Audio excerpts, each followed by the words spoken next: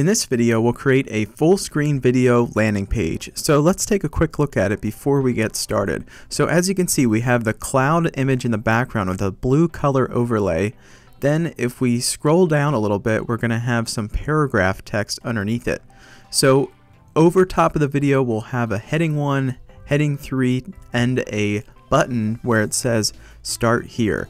So in order to get started with this tutorial, in the description of this video I've included these free starter files you can download, including the clouds video, index.html, and style.css. I'm going to be using Sublime Text as my free text editor to work on this tutorial, and then I'm going to have index.html open in Google Chrome as we're working on the tutorial. So if you're new to the channel here, please go ahead and subscribe and like the video and then we'll get started here. Okay, so as you can see inside of the starter files, we have a title, a link to our style.css sheet, and a paragraph already laid out for us. So let's get started with our first tag.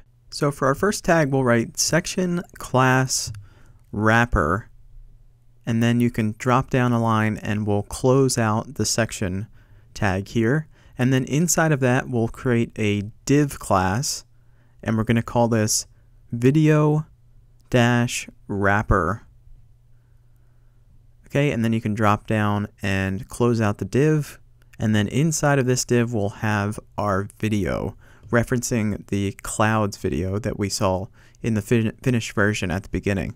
So video source clouds dot mp4 and then we'll want it to play automatically so we'll write autoplay and then loop so it loops continuously. And then we can close out our video tag. Okay. So the next thing is let's drop down and create another div class. And we'll call this div class overlay and then you can close out the div. So this is going to be the overlay blue color that goes on top of our clouds video to give it sort of a dark shade. So it's kind of a dark blue color. All right. So the next thing that we'll do is lay out the section where we're going to add our headings and the button. So we'll create another div class and we'll call this landing dash text. Okay, and then you can drop down and close out that div. And inside of it, we'll have an H1 or heading 1 where we'll write video landing page and then drop down and we'll have a heading 3 and we'll write full screen video background. Okay, and then we can drop down and add our button. So we'll write a href, and we're not going to send the button anywhere right now, but you can put your URL in here if you wish. I'm just going to do the hashtag or pound symbol so it keeps us on this page, and then we'll do class btn for button, and I'm just going to write start here. Okay, so if we go over to the version we've been working on and refresh the page, we have our heading 1, heading 3, and the link there that later will turn into a button. Alright, so let's move over to style.css, and the first thing that we'll style is the body of the HTML document itself. So we're just going to write body, open and close your brackets, and then font family Montserrat, which is the Google font at the top of the page there. And then we'll change the color from black to sort of a dark gray, grayish blue. So it's 2D3E50. So now if we refresh, there we have our grayish blue color. Okay, so now let's drop down and the next thing that we'll style is the section tag here. So we'll write section, open and close your brackets, and then we'll give it a max width of 57%. And then margin, auto, and text align center. So this is going to give us a width and align our heading text as well as the button. So if we refresh, there we have our heading information centered on the page. Alright, so the next thing that we'll style will be the wrapper class. So since that's a class, we'll start with the period rather than the hashtag with the IDs. And so we'll write dot wrapper. We'll give it a height of 100 VH. We'll say display flex. And then align items center and color FFF. So this is going to vertically align our uh, heading information and it's going to give it the color of white. So it looks like I didn't save it here. Let me just save it and then I'll go back. Okay.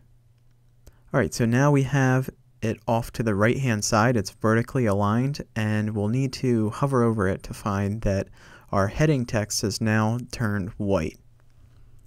Okay, so let's go back to our style sheet and drop down to video wrap. So dot video wrap for the class.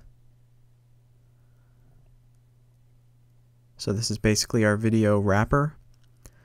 And then we give it a position of absolute.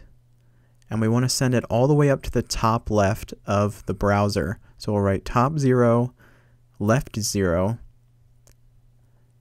And then if we refresh, we have it pushing all the way up to the top left, but it's still going off the page. So we'll give it a width of 100%, a height of 100%. And now if we check it, it's going to fill up that space, but it's going off the page. So we'll write overflow hidden. Okay, so now we have it at 100% width, 100% height with nothing over, overflowing. So now let's drop down and the next thing that we'll do is we'll make a minimum width and minimum height for the video in case your video is smaller than the than the browser's page. Okay, so video dash wrap and then video and we'll give it a minimum width of 100% and a minimum height of 100% of the screen. Okay, so now let's drop down and the next thing that we'll style will be our overlay class. So dot overlay and we'll want the blue overlay to be over top of the video with z-index 1. We'll give it a height and width of 100%. And then we also want it all the way up to the top left. So top and left 0. And then let's add our background color. So that's going to be the bluish gray 2D 3E 50. And now if we check it, we just have this blue section here. So what we'll also need to do is write position absolute. And similar to our video wrapper or video wrap, it's now going to take up the whole screen. And then we just need to add opacity 0.7 to make it clear uh, see-through. All right. So now we can drop down to our landing text. So we'll reference that with the landing text class and say dot landing dash text. And we just want this to lay over top of our video and overlay. So we'll write z index 2 okay? And then we can drop down to our heading 1 style All right. So for our heading one, let's change the font weight to 600 Then we'll change the font size to 380%. So that's going to be almost four times the original size. And let's enlarge the heading 3 text also. So we'll give it a font size of 230%, font weight of 400, so 600 and 400, remember, are included with the Google font imported at the top of the style sheet. And now if we refresh, we have it looking pretty much like the original, but we need to close some space in between the heading 1 and the heading 3. So let's write margin top negative 4% rather than messing with the line height. And we'll give it a little padding on the bottom to separate it from the button. So let's give it padding bottom 3%. Okay, so now it's lining up pretty nicely like the original. And let's move on to giving our button the style. So we'll want to reference dot btn for the btn class. So we'll start with dot btn, open and close. And then first let's give it its text decoration, or rather take away its text decoration so we can get rid of the underline there by saying text decoration none. Then we'll give it a color.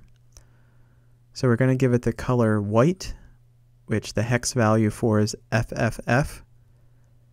And then we'll change the font size to 140%.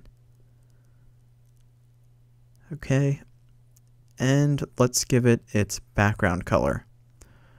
Alright, so background blue hex value 2A8 0 B9. And then let's also give it some padding. So I want to create some padding in between the text itself and the uh, outline of the the background. So padding 2% top bottom, 3% left right, and then we'll just give it a border radius so it's not completely square with a border radius of 5 pixels. Alright, so there we have our button completed. And the last thing that I'm going to do is simply give our paragraph text underneath the landing page a little bit more size and clean up the border. Okay, so we'll increase the size to 130%, and then let's just give it some padding around the edges of 3%. Alright, so now if we refresh, it's looking just like the original here. I want to thank you for sticking around. Please remember to like this video, subscribe, and turn on notifications, and I'll see you in the next tutorial.